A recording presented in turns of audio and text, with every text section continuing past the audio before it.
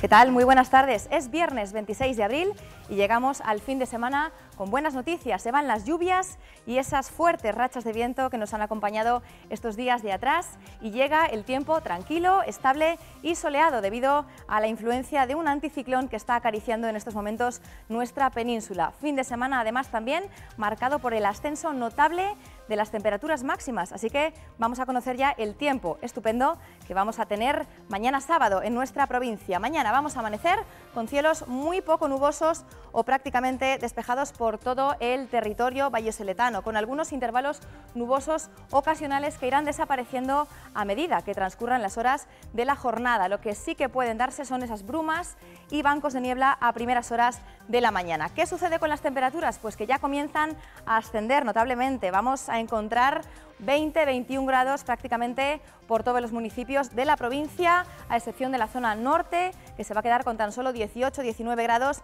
y también por esta zona este. Y al contrario, sucede con las mínimas. Las máximas ascienden, pero las mínimas mañana descenderán y lo van a hacer hasta los 0 grados, como estábamos viendo en esta zona este de la provincia vallesoletana y también en la zona norte. Con 20 grados de máxima y 3 de mínima vamos a tener en la capital y esa también va a ser la tónica general por el resto de los municipios del sur y del suroeste de la provincia. En algunos puntos todavía pueden producirse heladas débiles debido a esas bajas temperaturas que vamos a tener mañana. Como vemos, mañana ya va a ser un día sin precipitaciones, tranquilo, estable, donde va a predominar el sol y ese ascenso de las temperaturas que va a continuar, como estamos viendo ya, de cara a los próximos días. Como les decía, un fin de semana estupendo y también una estupenda eh, comienzo de semana. Hasta los 25 grados vamos a alcanzar el lunes y el martes. Parece mentira, pero parece que ahora sí el tiempo ya se estabiliza y vuelve ese sol que tanto estábamos echando de menos.